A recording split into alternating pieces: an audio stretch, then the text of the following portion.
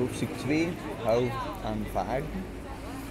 En aanvaarden, dat is eigenlijk een super, super interessant. De meeste mensen hebben het zeer lastig met het leven dat, dat op hen pad is te aanvaarden. Top hè.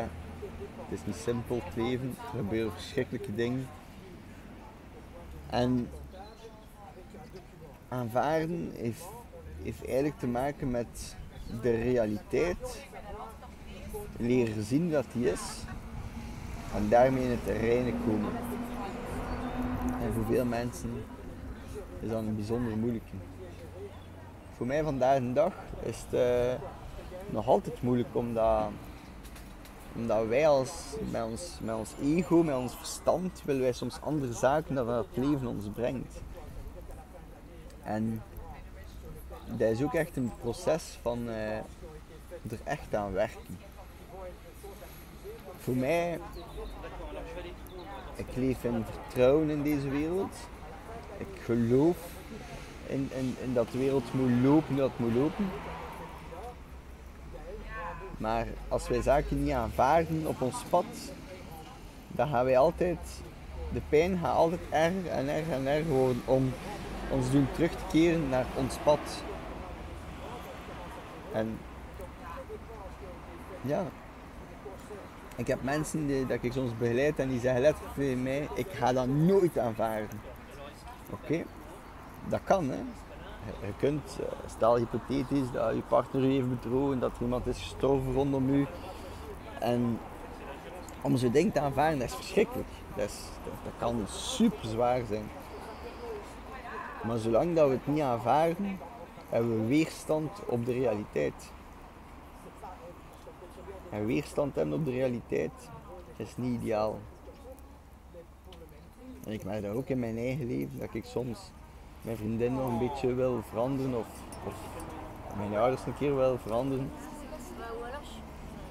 Maar de complete 100% aanvaarding is ook, een, is ook een teken van, van liefde voor die andere persoon. En natuurlijk, doorheen dit boek, wij als mensen hebben onze grenzen, onze limieten. We kunnen die wel stretchen, maar te veel is ook te veel. Dus bijvoorbeeld stel dat je een partner hebt die je bedriegt, heel de tijd, ja, dan, dan moet je niet aanvaarden. Het is belangrijk nog altijd dat je ook een vorm van zelfliefde en zelfrespect hebt. En uh,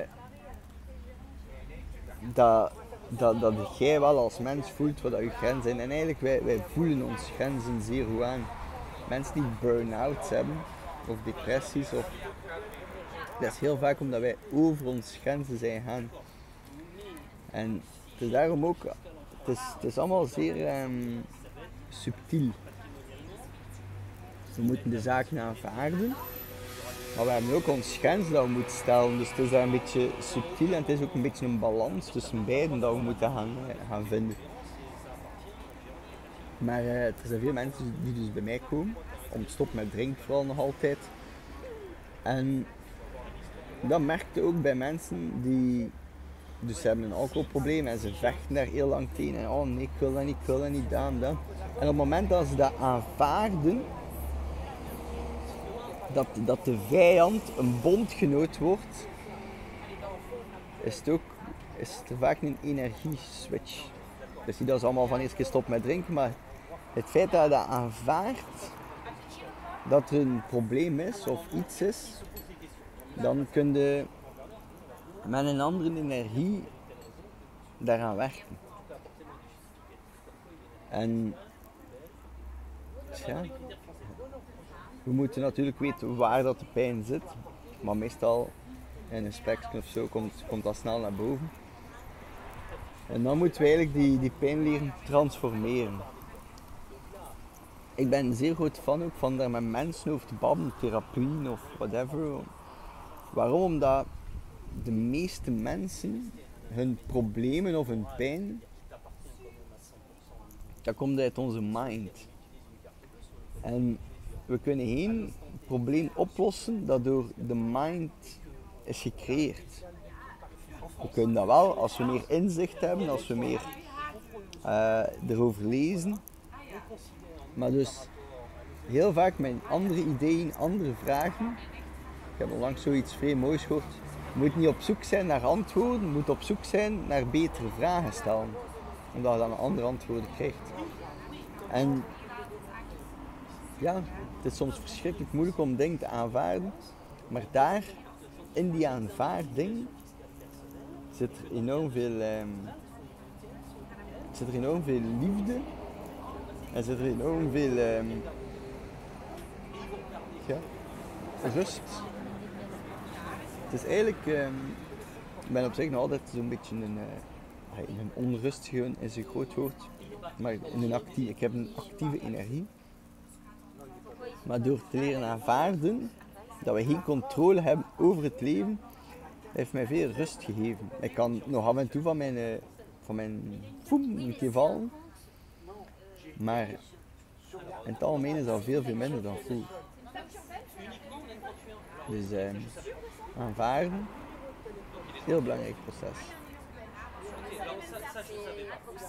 En ik ga misschien nog één ding zeggen, want zolang dat we iets niet aanvaarden, gaat dat terugkomen op ons pad. Bijvoorbeeld, ik had een beetje last in mijn leven met uh, een goede relatie op te bouwen. En ik kwam regelmatig vrouwen tegen die, die niet echt committed waren of die niet echt relatie waren. En, en ik wilde altijd zo'n beetje gaan bespelen van ja, maar weet wel, we kunnen toch proberen en we zien wel en daar en daar. En dat was altijd een beetje een vorm van zo een beetje manipuleren en de waarheid verdraaien en, ze toch binnenlokken omdat ik gewoon zoveel pijn had. Het is niet dat, dat ik dat expres deed, maar het was omdat er veel pijn in mij leefde, pijn van afgewezen te worden. En, en als de vrouw mij niet volledig wou, ik, ik, ik wou die realiteit niet zien omdat dat te veel pijn deed.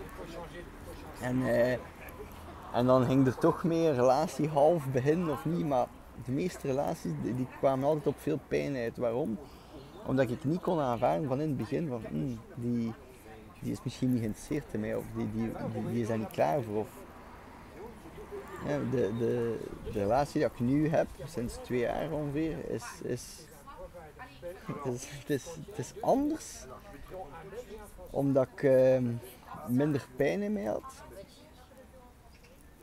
Maar het is ook, uh, het, was, het, was meer, het was vanuit een andere energie van hé, hey, we gaan uh, we gaan, we gaan zien wat dat hier gaat geven. En uh, stel dat het niet goed gaat, ga ik dat ook aanvaarden en ga ik het ook loslaten.